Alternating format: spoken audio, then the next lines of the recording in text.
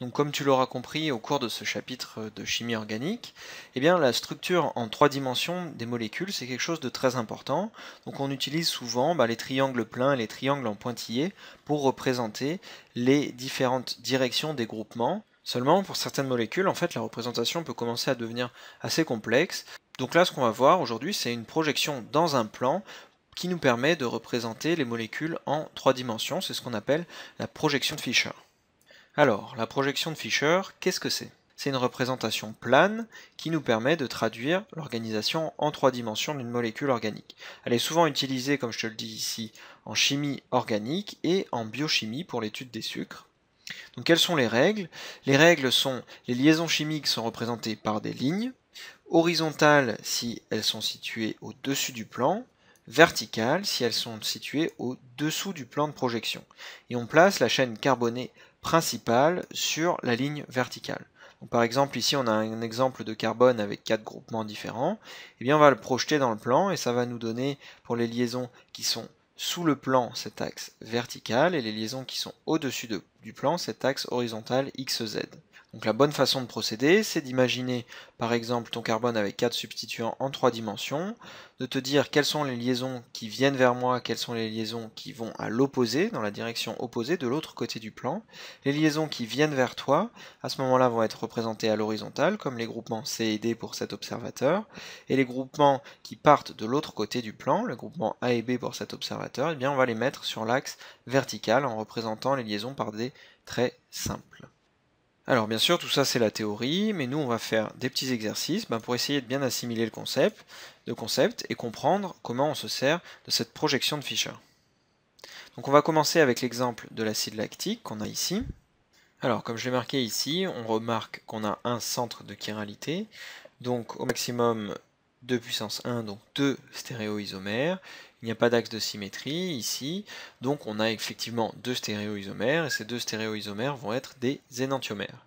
Donc j'en ai représenté un ici, voilà notre carbone asymétrique. Donc ici j'ai un groupement OH, un groupement CH3, un hydrogène derrière le plan, et un groupement carboxyle ici. Donc première priorité, c'est évidemment l'oxygène, le groupement numéro 1 est ici.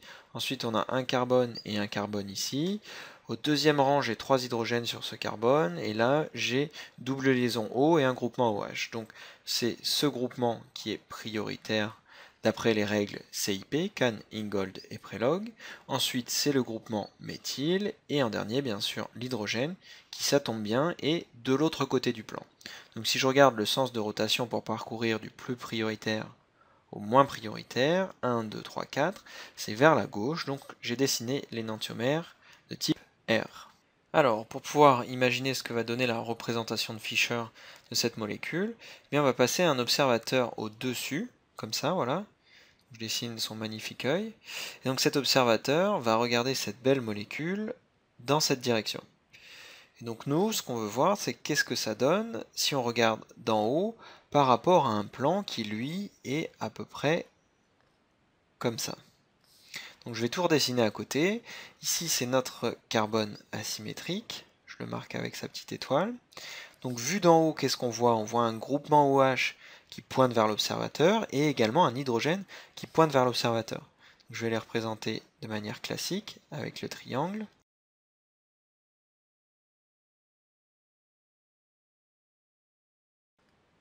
Hydrogène. Le groupement méthyle, lui, pointe à l'opposé de cet observateur. Donc ici, ça va être des traits en pointillé. CH3. Et enfin, le groupement COOH, ici, eh bien, il pointe aussi à l'opposé de l'observateur, donc toujours des traits en pointillé, carbone, double liaison oxygène et groupement OH. Donc là, il ne nous manque plus grand chose pour passer à une représentation de Fischer. Donc tout simplement, on va utiliser les conventions qu'on a listées au-dessus, c'est-à-dire qu'on va représenter les liaisons par des traits, donc H, OH, voilà, et en haut on va représenter COOH, et en bas CH3. Donc voilà, félicitations, on a fait notre première représentation de Fischer. Alors pourquoi Fischer? Eh Emile Fischer, c'est en fait un lauréat du prix Nobel de chimie en l'année 1902 qui a beaucoup travaillé sur les hydrates de carbone et les purines. Donc on a ici l'acide lactique de type R en orange, et ce que j'ai dessiné à droite, c'est l'acide lactique de type S.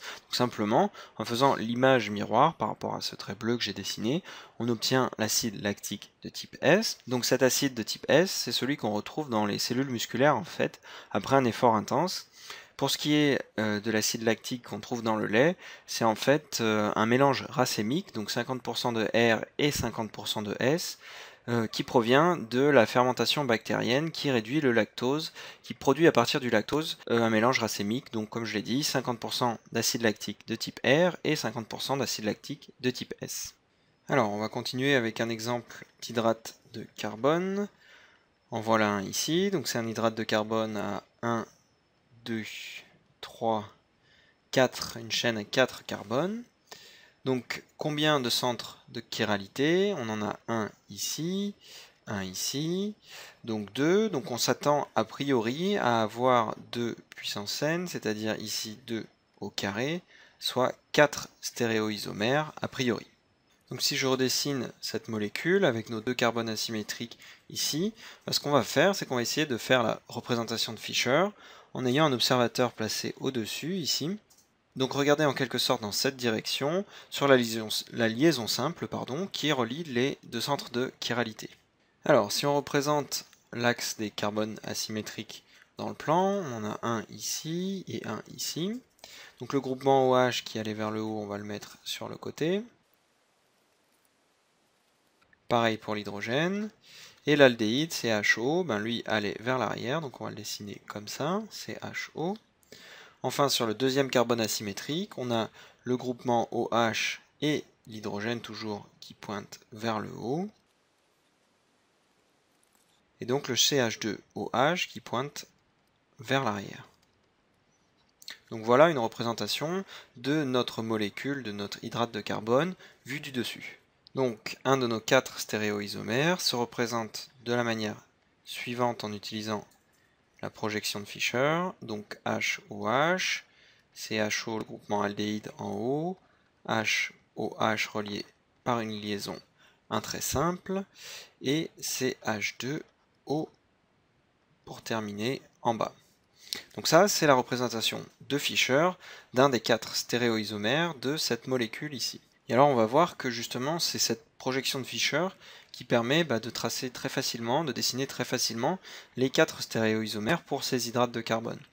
Donc si je redessine juste en dessous le même, la même projection de Fischer qu'on vient de faire, donc on a notre groupe CHO en haut, ici on a un groupement OH et H à gauche, premier centre d'asymétrie, Hop, ici on croise le deuxième carbone asymétrique avec HOH. Et en bout de chaîne, ici, on a notre CH2O. C'est d'ailleurs un CH2, CH2OH, pardon. Donc j'ai aussi oublié un H sur la projection de Fischer précédente, donc je le rajoute. Voilà, donc si on veut avoir l'énantiomère de cette molécule, on va tracer son image miroir. Donc je trace l'axe ici. On retrouve notre OH, H, OH, Et enfin l'axe principal, qui lui n'a pas changé, chez CH2OH en bas, et CHO aldéhyde en haut. Ensuite, si je veux dessiner les deux autres stéréoisomères, stéréoisomères c'est parti, je dessine le squelette dans la projection de Fischer. Pareil pour le quatrième et dernier stéréoisomère. Donc je vais par exemple dessiner HO et H ici, H ici, OH ici, CH2, OH toujours en bas et CHO toujours en haut. Donc image miroir, j'obtiens ici l'hydrogène, ensuite le groupement OH, ici OH, ici hydrogène, en haut CHO et en bas CH2OH. Donc voilà les quatre stéréoisomères de cette molécule en représentation de Fischer. Alors, si je numérote ces stéréoisomères, A, B, C, D, qu'est-ce qu'on peut dire? Ben, On peut dire que C et D sont des énantiomères. Pourquoi? Ben, Parce que ces deux stéréoisomères image l'un de l'autre dans un miroir. Ces deux molécules A et B sont images l'une de l'autre dans un miroir, sont également deux énantiomères. Et donc par exemple, si je regarde la molécule, le stéréoisomère A et le stéréoisomère C, eh ben, qu'est-ce qu'on peut dire? Quelle est la relation qui les lie Ces deux molécules, ces deux stéréoisomères sont des diastéréoisomères, donc deux stéréoisomères qui ne sont pas images l'un de l'autre dans un miroir. Alors on peut s'amuser à prendre un des quatre stéréoisomères, une des quatre molécules, et regarder en fait quelle est la configuration absolue de chaque centre asymétrique. Donc je redessine par exemple la molécule A, CH2OH.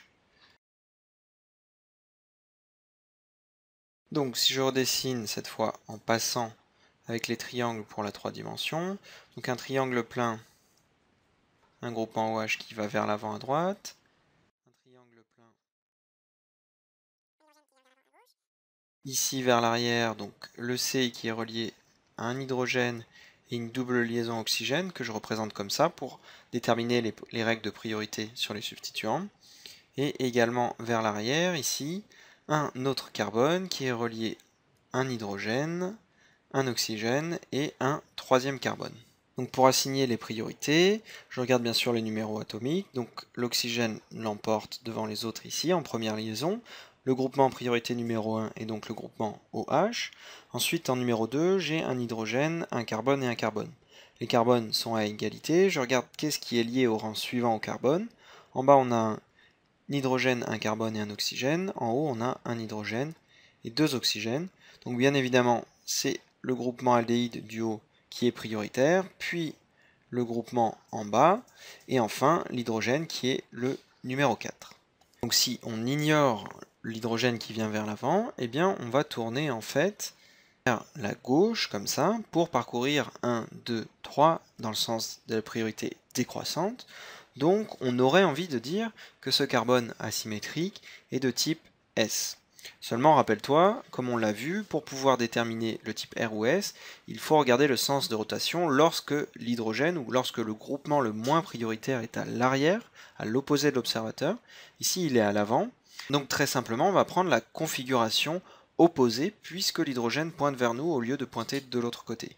Ici, on a l'impression, si on ignore l'hydrogène, qu'on a un carbone de type S. Donc, avec certitude, on peut dire que le carbone est de type R, puisque l'hydrogène ne pointe pas vers l'arrière, ne pointe pas de l'autre côté. Donc, si je renumérote les atomes, carbone 1, carbone 2, carbone 3. On a donc le carbone 2 qui est de type R, on vient de le démontrer. Si tu utilises en fait la même méthode exactement pour le, carbone asymétrique qui est en position 3, eh bien tu verras qu'on est aussi sur un carbone de type R. Donc cette molécule A, on a tout simplement un 2R, 3R, donc ça c'est pour la molécule de type A. Donc on pourrait faire exactement la même chose, déterminer configuration absolue des carbones asymétriques pour les autres stéréoisomères. On va pas le faire, je te laisse le faire si tu as envie de t'entraîner chez toi par exemple. Donc on va s'arrêter là, en tout cas pour cette vidéo qui aborde la projection de Fischer avec ces quelques exemples d'hydrates de carbone.